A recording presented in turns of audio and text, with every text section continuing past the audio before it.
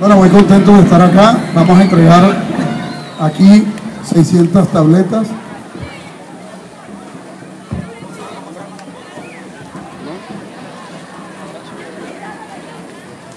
Vamos a entregar aquí el Juan Miguel unas 600 tabletas que hacen parte de esta revolución tecnológica que estamos promoviendo en los colegios para ponerle fin a la exclusión digital, a la exclusión tecnológica. Esta, tabletas no corresponde a compra que haya adelantado alguna otra entidad distinta al distrito de Santa Marta. Es una inversión que hacemos nosotros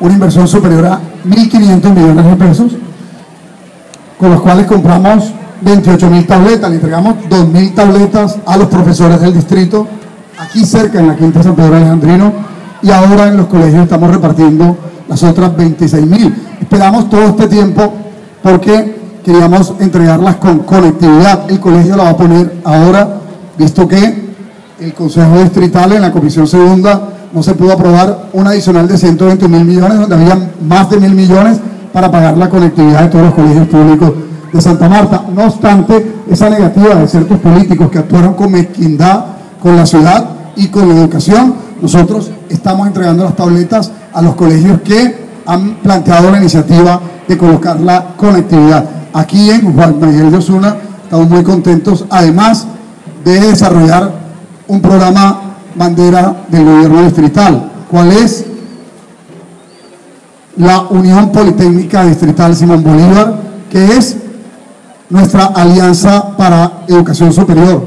Son más de 3.300 millones de pesos que entregamos en 1.500 becas, becas que eh, han servido para que estudiantes como ustedes, de estrato 1, 2, principalmente, y población vulnerable puedan tener oportunidad de estudiar luego que ingresan del colegio.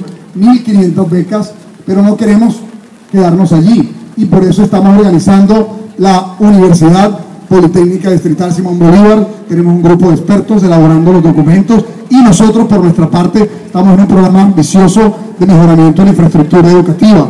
Por eso es que estamos interviniendo el Instituto Magdalena con más de 6 mil millones de pesos de inversión o el Rodrigo Bastida con una suma semejante. Ya hemos entregado a otros colegios como Edgardo Vives, ayer el Nicolás Buenaventura y en próximos días el Cristo Rey para mejorar la infraestructura educativa, dignificar la formación de ustedes, estudiantes, el ejercicio docente de los señores profesores, pero además construir edificaciones públicas que sean que impacten positivamente en los entornos urbanos de las comunidades.